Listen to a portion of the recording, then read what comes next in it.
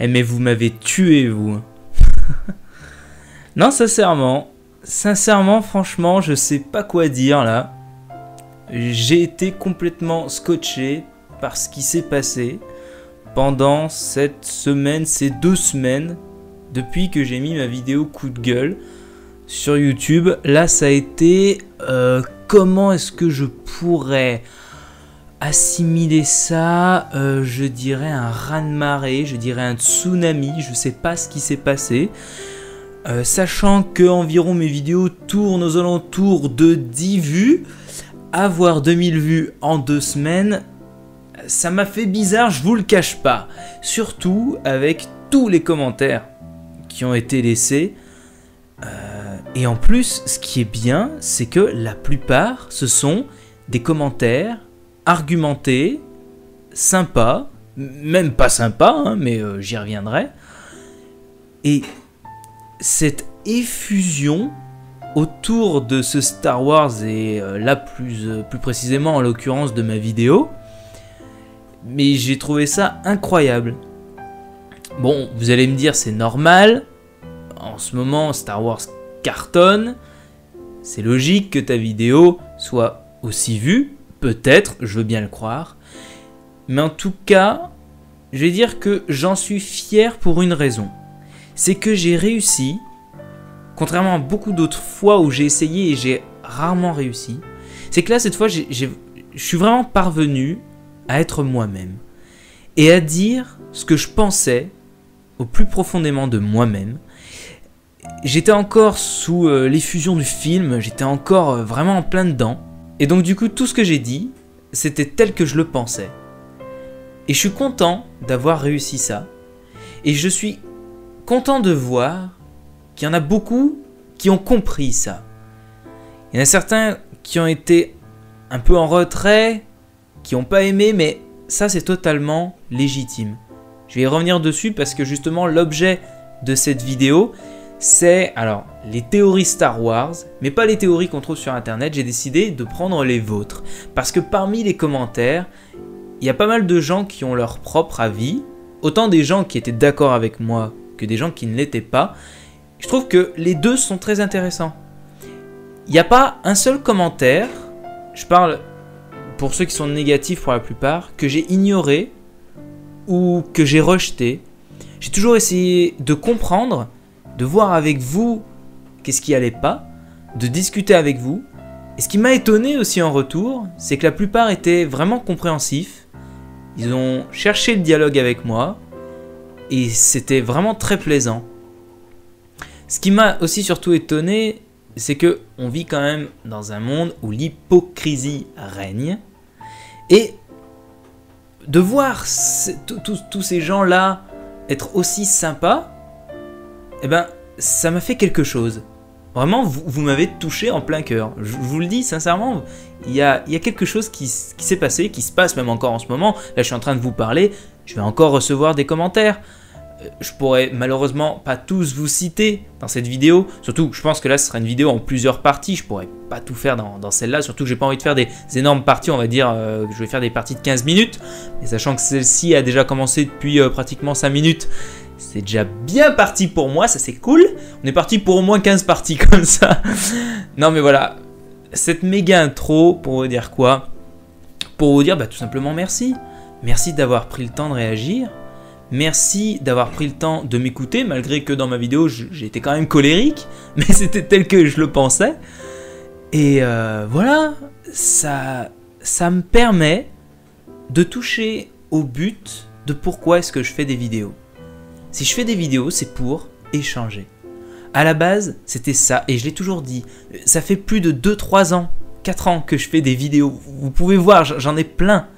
Je vous demande pas d'aller les voir, mais ce que je veux vous dire, c'est que le message que j'ai toujours essayé de faire passer dans ces vidéos-là, ces vidéos qui étaient pratiquement pas vues, mais que je faisais parce que j'aimais bien, c'était parce que je cherchais le dialogue avec vous. J'ai cherché exactement ce qui vient de se passer là avec la vidéo de Star Wars, c'est-à-dire des gens qui réagissent à ce que je peux dire et qui m'apportent à moi aussi des réponses ou matière à ouvrir le débat. Bien sûr, je ne peux pas faire des vidéos à chaque fois où je réponds à vos commentaires ou ce que je vais faire là par exemple. Mais là, je voulais absolument le faire pour marquer le coup, parce que c'était une première pour moi où, j'avais autant de réactions. Et ça m'a fait tellement plaisir que je pouvais pas laisser ça comme ça. J'avais vraiment envie, et j'ai vraiment cette envie-là, de revoir ça. Même si je vous ai répondu pour la plupart, j'ai envie de revoir tout ça. J'ai envie de relire ce que vous avez dit et de vous répondre plus globalement et à vous tous, parce que vous n'avez pas forcément été lire chacune de mes réponses, ni euh, lire euh, tous les commentaires de tout le monde, parce que la plupart sont vraiment très intéressants. Donc voilà, le but de cette vidéo, c'est ce que j'ai envie de faire, et je vous propose eh ben, qu'on commence tout de suite. Alors tout simplement, comment est-ce qu'on va procéder pour euh, cette vidéo-là? C'est tout simple, moi j'ai mon ordinateur là en face de moi, j'ai la liste de vos commentaires, attendez je vais y aller dessus là, voilà, là je suis dessus, j'ai la liste de vos commentaires. Et je vais euh, comme ça les lire, je vais en prendre euh, au hasard, même oh, je vais peut-être aller, je vais faire peut-être toute la liste, hein, mais bon je, découperai ma vidéo en, plusieurs vidéos, hein, tant pis, parce que là sinon on est parti pour, pour 3 heures je crois.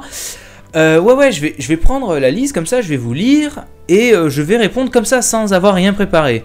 Euh, j'ai mes réponses en dessous, mais je vais éviter de les lire, sinon ça servira à rien. Je vous dirais, j'aurais juste à vous dire, bah allez voir la vidéo et regardez mes réponses. C'est pas du tout ça que je veux.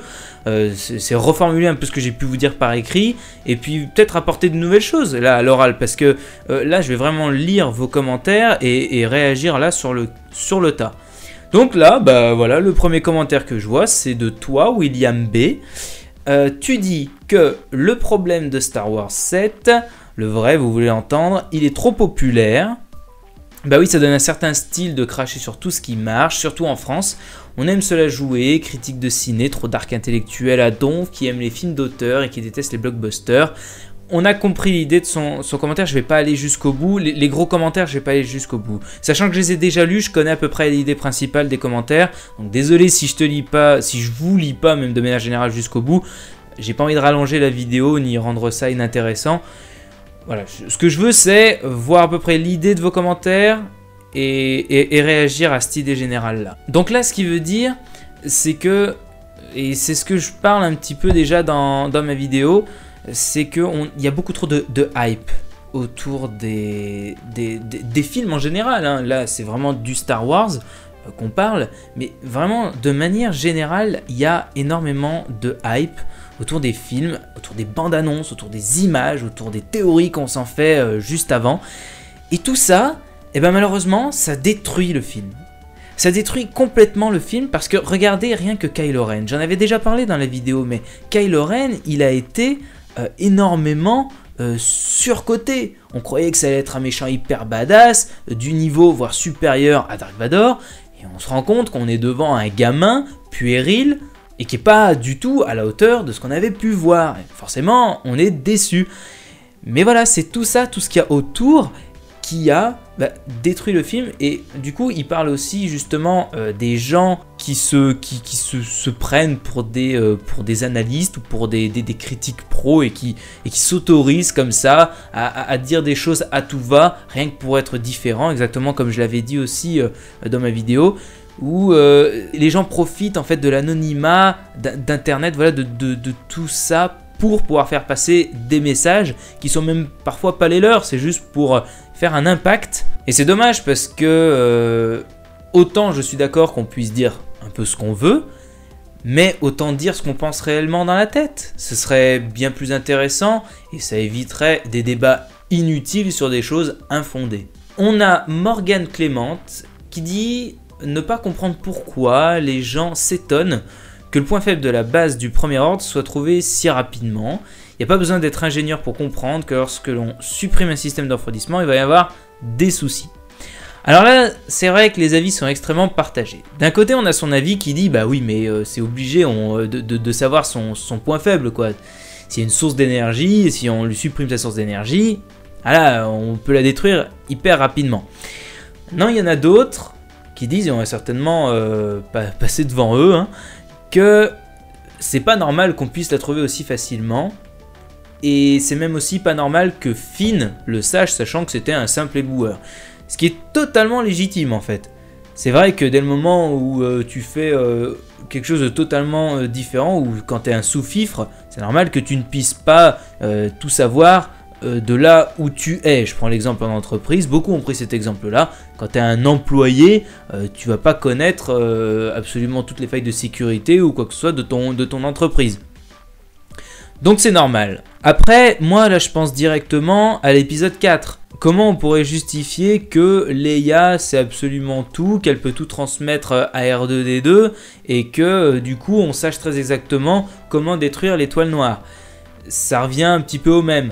Après, euh, moi aussi, je me suis dit que Finn, sachant que c'était un Stormtrooper et que j'estime que tous ceux qui vivent là-bas euh, doivent certainement savoir quels sont les points faibles de, leur étoile pour savoir en cas d'attaque en cas d'attaque où est-ce qu'il faut défendre. Je me dis que ça peut, ça peut coller la route pour savoir au final comment détruire cette étoile noire. Voilà, mais sinon, c'est vrai qu'il y a certains trucs qui sont pas justifiés, mais encore une fois, euh, je pense qu'il faut laisser de la liberté à ces films. Je dis pas que tout doit être fait à la va-vite et que tout euh, doit être injustifié, mais que au moins on puisse laisser certains points noirs. Regardez n'importe quel film, il y a beaucoup de films où, on on sait pas tout, où on sait, où, on n'a pas forcément d'explication, et cela ne nous empêche pas d'apprécier quand même. Je dirais même que c'est ce qui fait parfois le charme d'un film. Si vous expliquez tout, vous perdez même parfois la magie qu'il y a derrière.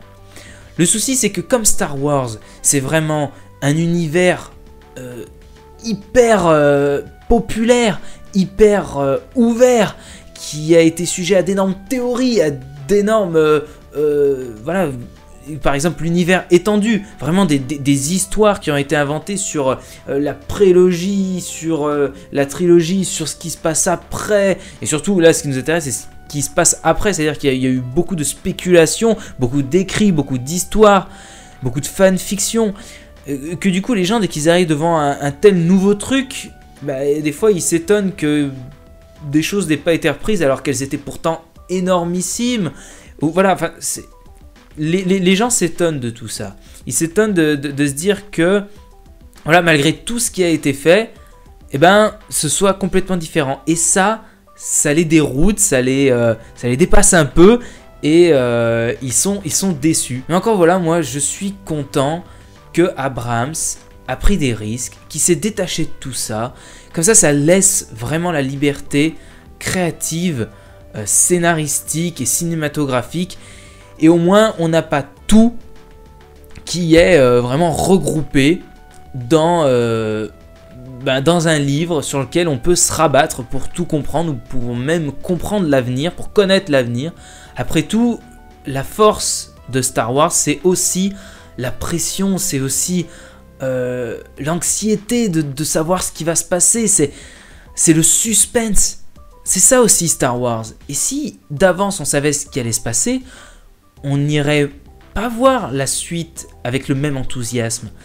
Et on serait pas autant surpris, on s'attendrait pas à être autant surpris.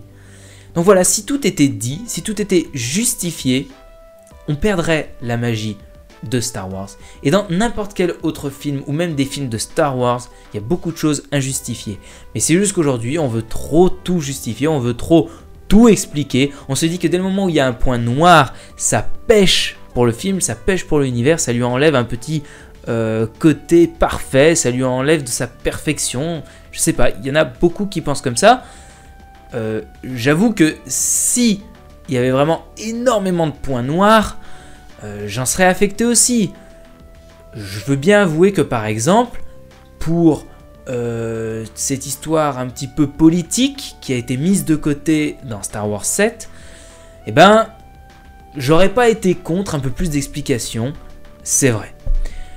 Ma foi, c'est pas ça qui m'a rebuté, c'est pas ça qui m'a empêché de l'apprécier. J'espère que dans les prochains, on aura un peu plus d'explications sur euh, tout ce côté politique, sur euh, qu'est-ce que faisait euh, la République sur ces planètes-là, comment elle a fait pour se reconstruire. Ce serait vraiment intéressant d'avoir des éléments de tout ça, sachant que bon, dans les Star Wars, on n'a pas énormément de flashbacks ou énormément d'explications sur le passé, tout se passe dans le moment présent, donc je sais pas trop comment ils vont amener ça. Peut-être que justement, ils s'appuient un peu trop sur les écrits qui vont y avoir après. Or, moi qui ai vraiment découvert déjà les Star Wars depuis pas longtemps et qui ne connaît vraiment que les films, l'univers attendu, étendu et tout ça, c'est j'ai jamais lu tout ça. Et eh ben, j'avoue vouloir quand même vraiment rester dans, les films et ne pas avoir à euh, m'étendre sur des écrits pour tout comprendre. Ou, du moins pour en comprendre un peu plus. Je, je dis pas que pour avoir plus de détails c'est pas bien. Ah non non, les écrits c'est vachement bien pour ça. Mais il faudrait qu'on en ait au moins l'essentiel dans les films. Bon là, je me rends compte qu'avec tout ce que j'ai dit, j'ai dû au moins répondre à je sais pas combien de commentaires. Du coup, soit je vais lire quand même des commentaires où je vais vous dire, bah là j'ai déjà répondu, euh, soit je vais carrément les passer parce que ça servira à rien que, je redise ce que j'ai dit. Parce que là en fait, euh, ben, de fil en aiguille, j'ai abordé tout, pratiquement tous les thèmes. Mais bon, on va continuer, mais je crois que vu le temps, on va déjà continuer sur une prochaine vidéo. Cool J'ai lu deux commentaires sur euh, plus d'une quarante euh, cinquantaine. Oh bah ouais, je crois qu'on est parti pour quoi euh, Ouais, allez, 25 parties. Hmm, c'est bien ça. Non, non, comme je vous dis, il y a certains commentaires que, que je vais passer. Mais en tout cas, voilà, pour, pour celle-là, on s'arrête là. J'en ai, j'en ai déjà pas mal dit, je crois. bon, pour certains, ça peut être de la redite de mon coup de gueule. Mais je voulais vraiment voilà, montrer ce que vous avez dit, euh, dire vraiment à l'écran, en vidéo, ce que vous avez pu m'apporter. Il, y, a encore pas mal de choses, même que je vois là sous les yeux, qui sont super intéressantes. Bon allez, je fais un commentaire en plus, parce que deux commentaires, c'est pas assez. Troisième. Alors, il y en a une dit très bonne vidéo, donc déjà merci. Attends, je vais citer ton pseudo, excuse-moi, je les ai cités pour tout le monde, je vois pourquoi je ne citerai pas pour toi aussi. C'est Spirit 2212. Donc il me dit très bonne vidéo, merci à toi. En revanche, si Rey est la sœur de Kylo ce dernier ne l'aurait-il pas ressenti? Perso, je pense vraiment que c'est la fille de Luke. Le coup du sabre laser et surtout le moment où R2 se réveille pile poil quand Rey arrive sur la base rebelle à la fin. Alors, pour te répondre, tu me dis déjà, en revanche, si Rey est la sœur de Kylo Ren, euh, ce dernier ne l'aurait-il pas ressenti? Déjà, qui te dit qu'il ne l'a pas ressenti? Qui te dit que Kylo ne sait pas que euh, Rey est sa sœur? Qui te dit qu'il ne sait pas, ou, même que, c'est la fille de Luc, quoi que ce soit, qui te dit qu'il ne sait pas ça.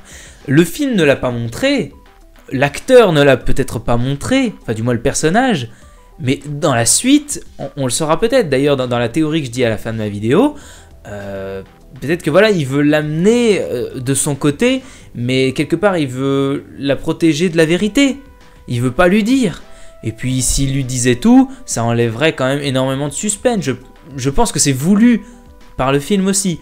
Donc, si c'est réellement sa sœur, il n'est pas obligé de lui dire, et même s'il l'a ressenti, on n'est pas obligé non plus de l'avoir vu, ni qu'il le montre. Voilà, donc déjà pour, euh, ce point-là, euh, perso, tu continues en disant perso, je pense que c'est la fille de Luc. Donc c'est exactement ce que j'ai pensé au départ. Pour moi, euh, c'était la fille de Luc. Et ce que tu vas dire après, euh, m'a fait un peu repencher justement dans cette théorie comme quoi c'est, ce serait peut-être la fille de Luc. Parce que tu dis le coup du sabre laser. Donc ça déjà, ça c'était ma théorie. Je pensais aussi, enfin ma théorie, c'est la théorie de tout le monde, mais c'est ce que je pensais au départ. Pourquoi c'était la fille de Luc C'est parce que justement quand elle a touché le sabre laser, elle a ressenti quelque chose. Mais ce que tu dis après, c'est hyper intéressant, surtout si ça se vérifie. Je dis surtout si ça se vérifie parce que euh, je t'avoue ne pas avoir bien regardé ce moment-là. Mais tu dis le moment où R2 se réveille pile poil quand Rey arrive sur la base rebelle. Il y a aussi beaucoup de théories et beaucoup de coups de gueule contre le fait que R2D2 se réveille comme ça, tiens allez hop, je vais compléter la carte de BB8 parce que je suis trop swag, je me suis arrêté de, bouger depuis je sais pas combien de temps, depuis que Luc est parti, et puis là il est même pas revenu que ça y est, tranquille, euh, j'ouvre la boîte de Pandore. Euh, j'étais aussi tombé dans le panneau, mais des fois, je me suis dit non, mais quand même, là, euh, ils, ont, réussi à remettre un petit peu de l'ordre. Du coup, R2D2, il se sent un peu mieux. Il se dit c'est bon, c'est le moment que j'aide. Déjà, c'est comme ça que j'arrive à répondre à ces genres de critiques ou théories. Mais ma foi, ce que tu dis, si jamais Rey, elle arrive bien, bel et bien au moment où R2 se réveille, eh ben, ça vaudrait encore plus appuyer, ça, viendrait encore plus appuyer le fait que c'est la fille de Luc, parce que quelque part BB-8 le ressent, il se dit que c'est le bon moment pour fournir le reste de la carte, qu'en même temps il ressent la fille de Luc qui est prête à le retrouver. comme il, comme il se dit qu'elle qu'elle est prête à le retrouver, ça lui redonne espoir. Et, et tout ça lui fait dire, bah tiens, attends, c'est peut-être le seul moyen que je retrouve mon maître. Bon, je lui donne peut-être un peu trop d'intelligence à R2, mais pour, moi, il est intelligent. Attends, c'est ce petit robot trop drôle là, comme il fait pour pas faire intelligemment rire les gens. c'est franchement énorme. Donc si, si, moi, pour moi, il a assez d'intelligence pour se dire que cette fille-là, Rey, est un espoir pour retrouver son maître. Et le seul moyen, euh, justement, pour le retrouver, c'est de s'appuyer sur elle et de fournir les informations qu'il possède. Voilà, c'est ce que je pense. Merci pour ta, pour ta théorie, pour cet éclaircissement. Si vraiment ça se vérifie, si quelqu'un le sait, si quelqu'un a vraiment bien remarqué euh, qu'il se réveillait vraiment à ce moment-là, quand elle arrivait, quand, quand, il ressentait ben, qu'elle pouvait l'aider, eh ben, je serais preneur, je serais vraiment euh, intéressé de le savoir. Voilà, écoutez, j'ai déjà fait trop long là pour, euh, pour cette vidéo. Euh, je continuerai, je continuerai, une autre fois. Je sais pas si je vais enchaîner tout de suite. Là, je pense que je continuerai une autre fois. On a bien assez à faire. Moi, ça me fait vraiment plaisir de, de, lire ça comme ça, de réagir en direct. Surtout, ce que je voulais pas, c'était préparer. C'est-à-dire lire et dire tiens, je vais dire ça, je vais dire ça. Non, non, non, parce que les réactions à chaud sont souvent les meilleures et les plus intéressantes. Et c'est exactement ce que je vous propose là. Si ça vous intéresse, je continuerai. Je dis pas je continuerai pas si ça vous intéresse pas, mais j'avoue que et puis, il faut bien avouer, c'est toujours beaucoup plus motivant quand ce que vous faites est regardé, est commenté. Et, voilà, j'ai rien à ajouter de plus. Moi, je prends plaisir à faire ça. J'ai pris énormément de plaisir à vous lire, à vous répondre. Je prendrai encore énormément de plaisir à le faire. Je vous remercie encore une fois sincèrement d'avoir réagi. Moi, j'avoue que sur Internet, je fais, je, suis, je fais partie des gens qui regardent beaucoup plus les vidéos qu'ils ne les commentent. Euh, et de voir qu'il y a des gens qui prennent le soin de, faire ce que je ne fais pas, eh ben ça me, ça me fait chaud au cœur et c'est, vraiment sympa de votre part. Voilà. Je vous, je vous témoigne le, le plus grand des respects. Voilà. Sur ce, je vous souhaite de bien tourner à vos occupations. Ciao à tous et vous le savez, que la force soit avec vous.